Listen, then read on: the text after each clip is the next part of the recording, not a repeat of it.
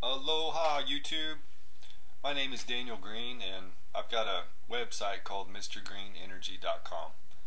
I also have a uh, Facebook page here called Run Your Car 100% on Water. And here there's tons of information that uh, illustrates how several inventors here in the past have been able to disassociate the water molecule for its hydrogen content and use that on board the vehicle to propel uh, the, the, the car. So we, we simply believe that it's a lot easier to extract hydrogen from water instead of oil. Um, it's tr traditionally thought that it takes more energy to disassociate water than you can get on the back end. Well, as compared to what? If you fairly uh, add up the amount of energy it takes to find oil, drill for it, refine it, and ship it across the planet without spilling any, that's going to uh, spoil our environment. Um, it, it's a really a, a no-brainer that uh, we should be acquiescing to technology that's a lot cleaner and uh, safer for our environment.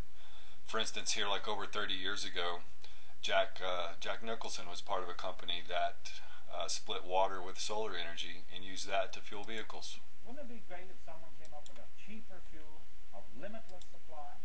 Well, in California, some businessmen claim they have. Let's hear their story. One of the people with money in it is pretty well known to most people. It's Jack Nicholson, all right. And the car he's driving is unique. It's a standard Chev with a standard engine, but what makes it unique is there's no gasoline in the car. It's running on hydrogen, and the hydrogen was... Gasoline is essentially a hydrocarbon. We're already using hydrogen as fuel, so our point is to extract that from water.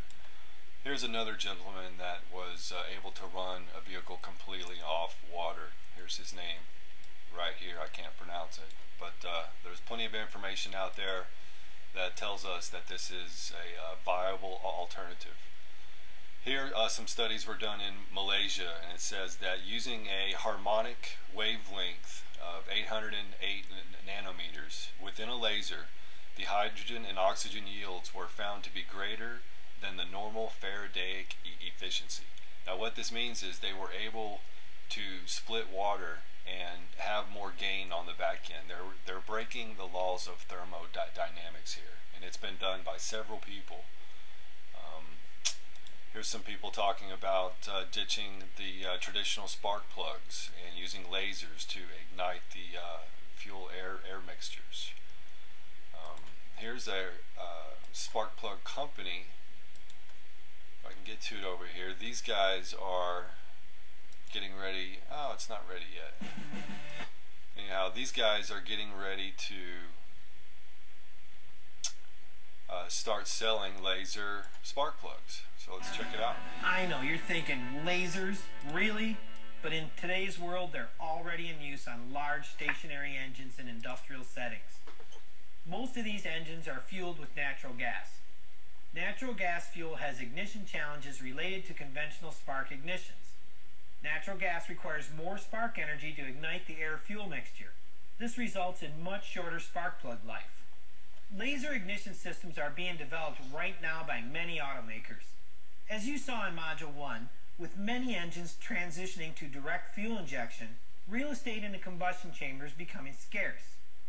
The current crop of spark plugs is just too big, and that takes up too much of that valuable space.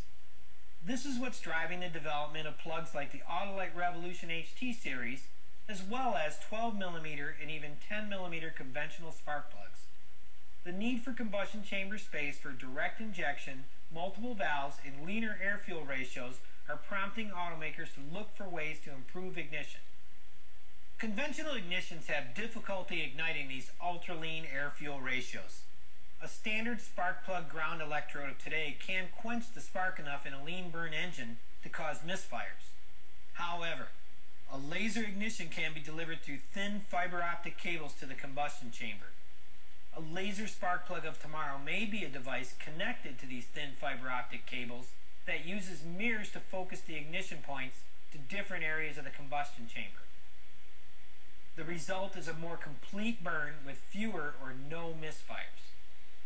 Another very tangible benefit of a laser-based ignition is its ability to fire different types of biofuels. With constant research... Biofuels as is HHO made from water. In this little advertisement, they mentioned that lasers work better with natural gas. Well, a natural gas ignition is very, very similar to hydrogen. So I see an opportunity here to combine existing hydrogen gas injector fuel cell technology with these laser ignition systems. This picture here in the middle here is a, a set of Stanley Meyer uh, hydrogen gas injector fuel cells. Here's one on the right here as well. Essentially this fitting right here, if you see my arrow, uh, that is where the water hooks up. So when you turn your ignition on, you're priming this electrolysis device with water. So you're, you're creating the fuel within the uh, the spark plug and then using a later a laser to ignite the ionized HHO mixture. Here's another uh, it's pretty simple drawing of the uh, mechanics of how it works. Here's another picture of a uh, three-prong laser spark plug. So here's some pretty good illustrations of uh, what we're trying to do here and that is create spark plugs that turn water into fuel on demand to propel the vehicle.